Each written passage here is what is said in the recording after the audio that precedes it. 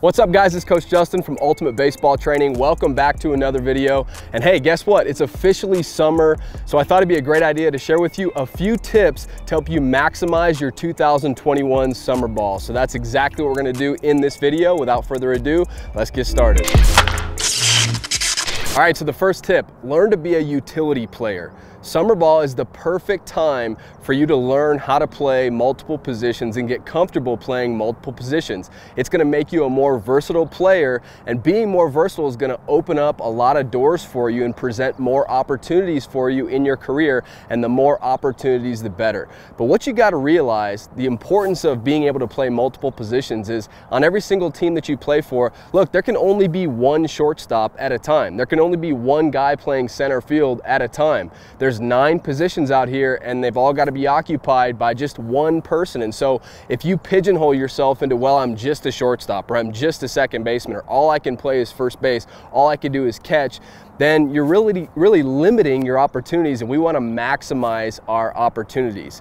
Um, and speaking of maximizing opportunities, in summer ball this year, if you focus on learning how to play multiple positions, that's gonna help you not only improve your chances of cracking the lineup on your current team, but that's also gonna improve your stock when college coaches are watching you because college coaches, they don't want a player who's just one dimensional. Like I was mentioning before, oh, just a third baseman or just a first baseman. They really want athletes, they want ball players first, and they want you to care about your, your you know, your favorite position, your primary position. That really comes secondary, but you need to focus on being being a ball player first.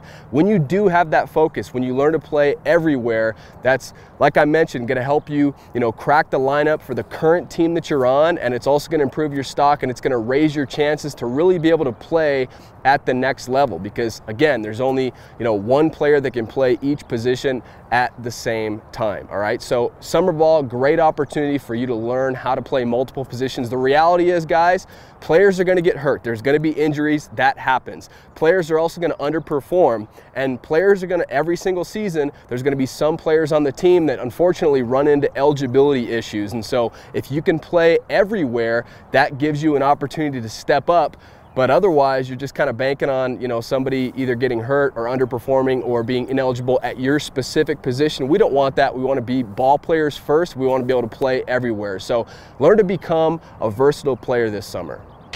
Number two, develop a moonshot skill. What do I mean by that? What is a moonshot? Well, you all know Google, the company Google. When they set goals, they set certain goals called moonshots. And of course, they have smaller goals along the way as well, but moonshots are the biggest of the big goals. The moonshots are high risk, high reward, and these are really game changing goals. They're setting out to literally change the world if they're able to accomplish these moonshots that are nearly impossible. Okay, so that's what a moonshot is. Now, I said develop a moonshot skill. What do I mean by that? Well, I think that you should take this concept that Google uses and I think you should think about that concept this summer. Now, I'm not asking you to do anything high risk and I'm not telling you that you need to learn this summer, you know, how to hit with your eyes closed or standing on your head or anything crazy like that. That's not what I'm saying. But what I am saying is think about what is the one skill that could be a game changer for you. Because if you just develop one skill that's, you know, continue to improve all your skills, but you really add something to your game this summer, you add something that's game changing, think about the effect that that's gonna have whether you're playing fall baseball or when you get into the spring.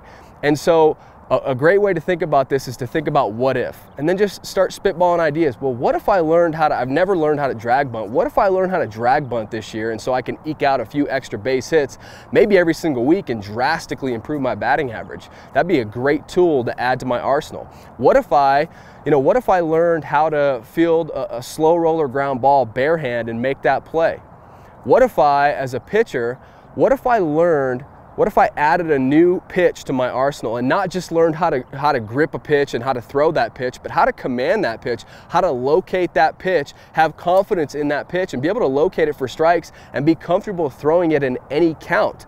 If you do any of those things, you know, those would be considered kind of moonshot things. Wouldn't that have a game changing effect when it comes to your next season, when it comes to, you know, once you're out of summer ball. And so that's what I encourage you to think about. What's the moonshot thing? What's the one thing? Because the reality is, you know, the time's going to go by regardless. And I would hate for you to enter the next season being the exact same player that you are right now. And thinking about developing a new moonshot skill, a new game changing skill is going to make sure that that doesn't happen. And it's going to make sure that you continue to progress as a ball player. All right, summer ball tip number three, transform your body and transform your game.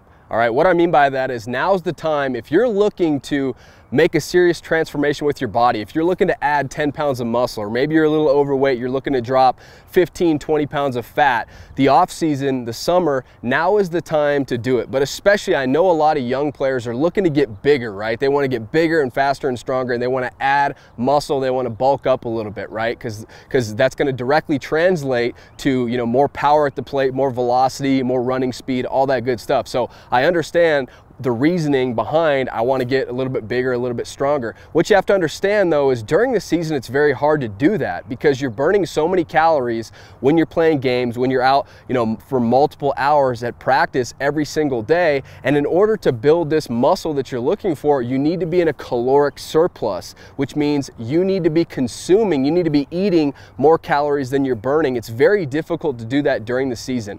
During the season it's about injury prevention and a lot of times it's about maintenance but the off season, now is the time for you to make big changes to your body. So I highly recommend you do it. You know, take an honest assessment of yourself. And if you need to, to get bigger, then get bigger. If you need to, you know, drop some fat, then drop some fat. And if you have serious, you know, body goals, I would recommend doing some research. I'm not going to get into in this video, but do some research on macros or macronutrients, okay? So the calories that you consume, uh, they're made up of macronutrients, protein, carbohydrates, and fats.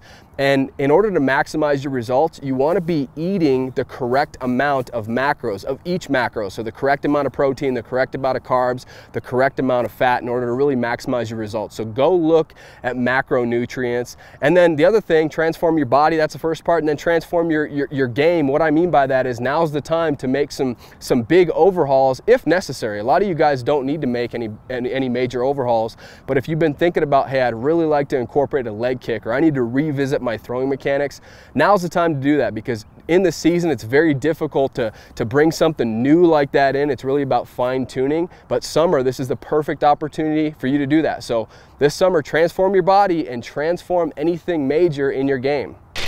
Tip number four for you this summer, ride the bike for real. What I mean by that is there's a great book out there called You Can't Teach a Kid to Ride a Bike at a Seminar.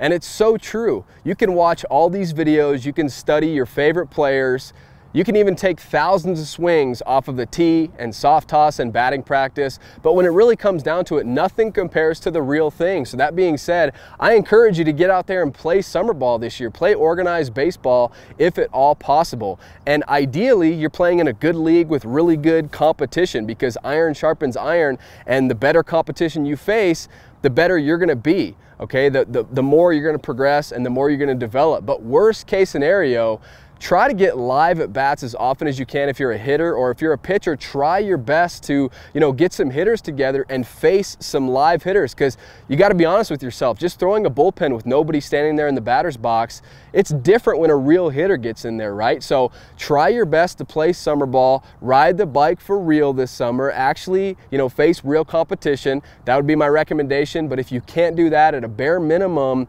you know you definitely want to get some players together and you know create a competitive atmosphere. But doing something, you got to get out there and ride the bike for real. Doing something is a heck of a lot better than just sitting at home and doing nothing and wishing that you'd get better. Wishing, we don't want to wish, we want to work for it, okay? So ride the bike for real this summer. All right, and last but certainly not least, develop positive consistency. The reality is most players waste their summer by playing video games and staying up too late and sleeping too little and filling their body with junk food. And then what happens is they waste their entire summer and then all of a sudden school comes back or tryouts are coming around. They're coming up in the next few weeks and all of a sudden these players have to do this heroic effort to try to really get their swing back and get back in shape. And really what they're trying to do is they're trying to dig themselves out of a hole and they're just trying to get back to the level that they were once at, okay? You don't want that to be you. Have you ever heard the phrase, I'm sure you have, if you stay ready, you don't have to get ready? Well, what if that was you? What if you were consistent and what if instead of trying to dig yourself out of a hole and trying to get back to par, what if you consistently, you know, inched better every single day, just inch by inch, brick by brick, brick? What if you got just a little bit better every single day and you stayed ready so you don't have to get ready? So I just encourage you that uh, you don't need to do some heroic effort. You just need to be consistent and you need to be consistent doing the right things because here's the reality too. I guarantee a lot of you guys, you are consistent right now, but you might be consistently doing the wrong things. You might be consistently sleeping in and consistently skipping your workouts, consistently playing video games. You might consistently be doing the wrong things. So you need to get consistency on your side, but you need to be consistent with the right actions that are going to move the needle and get your get you closer to your goals, okay? So, you know, the time is going to pass regardless. Whether you like it or not, summer will be over soon. You'll be back in school. And so the question really is, do you want to utilize this time and do you want to get something from this time? Do you want to be all in and do you want to, when school comes back around, when the season comes back around, do you want to be a better ball player because you were, you know, developing this positive consistency over time? Or do you want to be digging yourself out of that hole? It's up to you. The choice is yours. I hope you enjoyed this video. If you did, please do me a favor, hit that thumbs up button. I'd really appreciate that. And be sure to subscribe to the channel. That way you never miss any of our upcoming baseball videos. We're coming out with new videos all the time. And we've got a ton of videos already on the channel that you can go back and watch. So be sure to like this video. Be sure to subscribe. And last thing, be sure to go download the free contact point checklist that I put together for you. It's 100% free.